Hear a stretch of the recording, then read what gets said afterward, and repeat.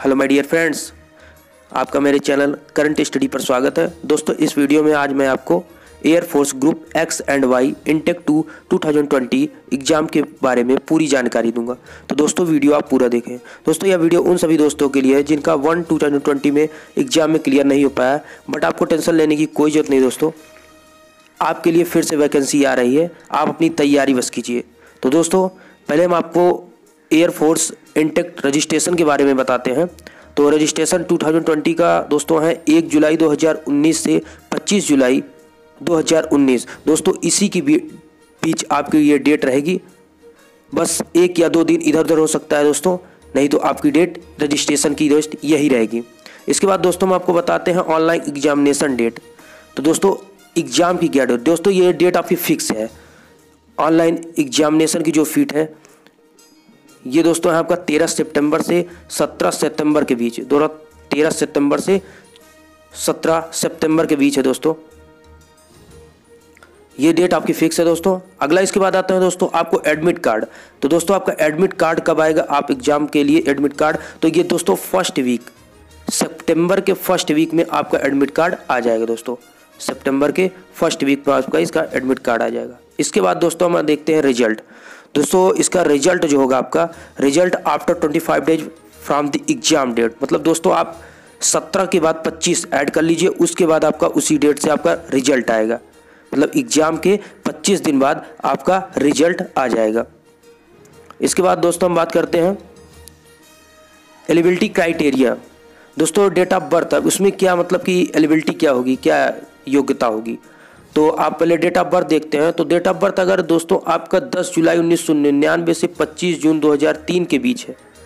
10 जुलाई उन्नीस सौ निन्यानवे से 25 जुलाई 2003 के बीच है। तो आप इसमें फॉर्म फिलअप कर सकते हैं। दोस्तों मतलब कि आप जुलाई दो उन्नीस से जून 2003 के बीच आपका होना चाहिए। तो आप फॉर्म फिलअप कर सकते हैं। इसके बाद दोस्तों बात करते हैं एजुकेशन क्वालिफिकेशन की। तो एजुकेशन क्वालिफिकेशन में आप ग्रुप एक्स की बात करेंगे।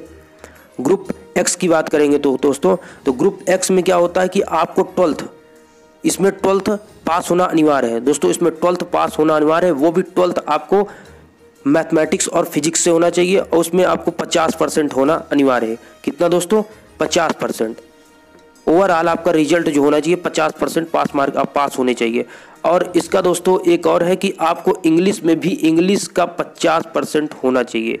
इंग्लिश में आपको 50 परसेंट नंबर पाना अनिवार्य है। तो दोस्तों इसके बाद हम देखते हैं, दोस्तों ग्रुप वाई के। तो दोस्तों ग्रुप वाई में क्या होता है दोस्तों? ग्रुप वाई का आपका है कि इसमें भी आपको इंग्लिश में 50 परसेंट पाना अनिवार्य है। इसमें भी इंग्लिश में 50 परसेंट पाना अनिवार्य ग्रुप वाई में क्या है दोस्तों? आपको भी ट्वेल्व पास होना चाहिए।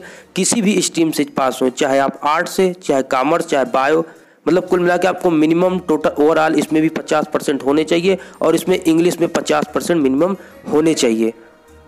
दोस्तों, इसमें एक आता है एक्स ग्रुप में, इसके लिए 50 परसेंट मार्क्स डिप्लोमा में होना चाहिए। डिप्लोमा में होना चाहिए। डिप्लोमा वाले भी फॉर्म फिलअप कर सकते हैं। उसके लिए उनका ओवरऑल डिप्लोमा में 50 परसेंट मार्क्स होने चाहिए और डिप्लोमा में इंग्लिश सब्जेक्ट में उनका 50 परसेंट होना चाहिए। इसके बाद दोस्तों हम बात करते हैं एग्जामिनेशन फ़ीस के बारे में। तो दोस्तों एग्जामिनेशन फ़ीस जो इसकी होती है, पर स्टूडेंट ये आपका ढाई सौ रुपये होता है। आप एक फॉर्म फिलअप करते हैं तो आपका ढाई सौ रुपये लगता है। चाहे एक्स ग्रुप हो, चाहे वाई ग्रुप, कोई ग्रुप के लिए ढाई सौ रुपये लगता है। दोस्तों, अगर वीडियो आपको अच्छा लगा हो तो लाइक सब्सक्राइब कमेंट ज़रूर करें। मैं दोस्तों आपके लिए ऐसी वीडियो डिफेंस संबंधित लाता रहूँगा। थैंक्स जय हिंद, जय भारत।